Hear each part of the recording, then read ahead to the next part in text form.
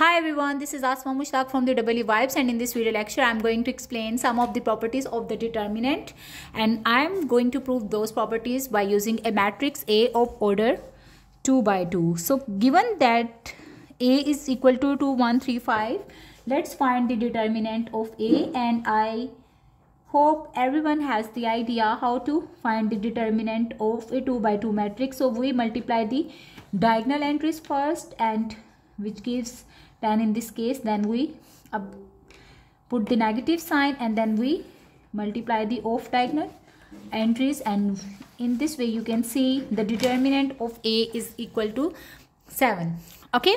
So now let's assume that there is an other matrix b which is obtained by swapping the rows of a. So b is actually equal to 3 5 2 and 1 and if I find the determinant of this new matrix B which is obtained by the swapping of the rows you can see that the determinant of this matrix will be equal to 3 minus 10 which is equal to minus 7 and we can also say that which is equal to the negative of the determinant of A. Fine. So in this way we conclude that when we interchange any two rows or any columns of a matrix A, then the determinant becomes negative. So this is the first property of the determinant. Fine. So this is the first property that we have discussed so far. Okay, now let's find the inverse of A. In order to find the inverse of a 2 by 2 matrix, we can use the formula adjoint of A divided by the determinant of A fine. And for finding the adjoint of A what we do we actually swap the diagonal entries of the matrix. So 5 will be switched at the position of 2 and 2 will come at the position of 5 5 while the rest of the entries will switch their signs. Okay? So this is the adjoint of a. Now in order to find the a inverse we can write it as this comes to be 5 divided by 7 minus 1 divided by 7 minus 3 divided by 7 and then 2 divided by 7 alright now let's find the in determinant of the inverse of a. So we will have 5 twos are 10 over 49 then minus 3 over 49 on simplification we will get 49 or 7 divided by 49 when we will simplify this expression further we will get it becomes 1 over 7 which is actually equal to 1 over determinant of a. And from here we can conclude the second property which says determinant of A inverse is actually equal to 1 over determinant of A. So this is the second property of the determinant. While this was the first one that I mentioned. Okay. Now let's see this second or sorry third property. Assuming that we multiply A with A. So we have 2, 1, 3, 5 and then again I'm going to multiply it with 2, 1, 3 and 5. Okay. So let's just find the product of these matrices. So 2 into 2, 4 plus 3, it becomes 7. Then 2 plus 5. It's also equal to 7. Then 6 plus 15, it becomes 21. While 3 plus 25 becomes 28 fine? Okay so from here we can see that it becomes 196 minus 147 if I find the determinant of this a square. So determinant of a into a basically.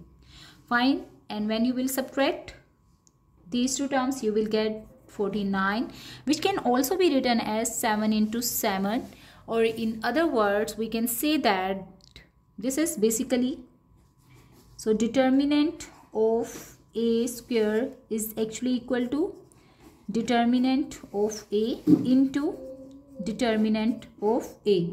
So this is the third property.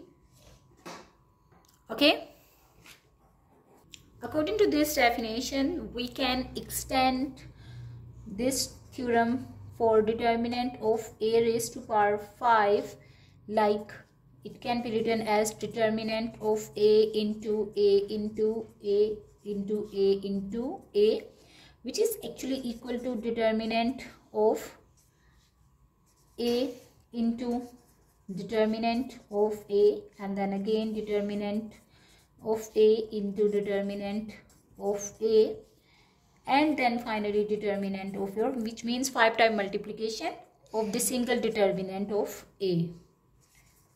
So for the generalized representation we can write it as determinant of a raised to power k is actually equal to k times determinant of a. Very simple. Alright. Let's move to the next property of the determinant according to which assuming that the we multiply the entire matrix A with some constant k.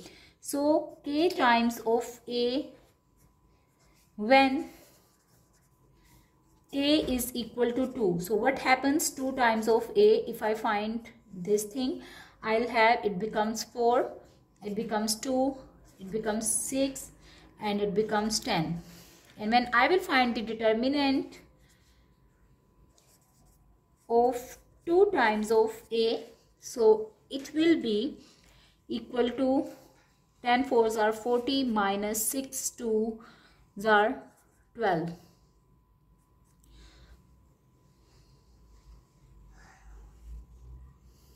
okay so this is equal to 28 which can also be written in the form of the determinant. So the determinant of a was equal to 7 so 28 divided by 7 gives me 4 so it can also be written as 4 into 7 which is this 7 is actually corresponding to determinant of a while this 4 can be written in terms of 2 as 2 raised to power 2 all right so what does it mean? It means k raised to power 2 into determinant of A. And what is 2? 2 is actually the order of the square matrix. Okay. So for any matrix of order m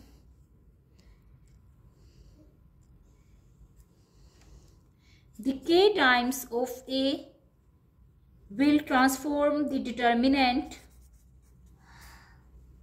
of Ka equals to k raised to power m times determinant of A. Alright. So these are the properties we have discussed so far.